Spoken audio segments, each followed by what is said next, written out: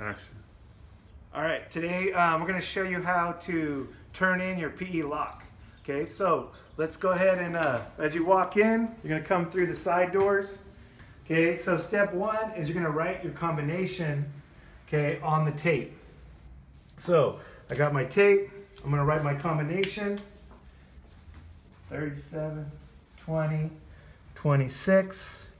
Okay, so after I'm done with that, I'm going to take I'm to take my tape with my combination on it, and I'm going to walk into the locker room and find my lock and locker.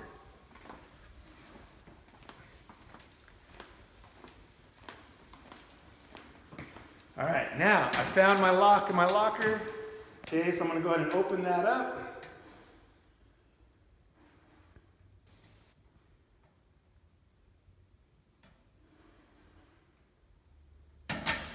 Right, I opened it up.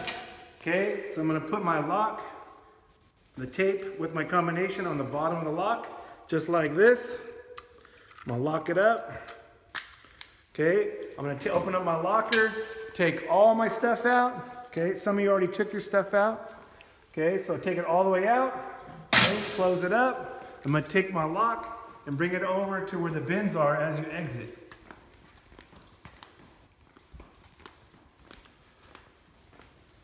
So you're gonna notice right here, we got blue locks, green locks, and black locks. Okay, I've got a black lock. Okay, so I'm gonna put it in the black bin. Okay, then once I'm done with that, I'm gonna head out the door and enjoy the rest of my summer.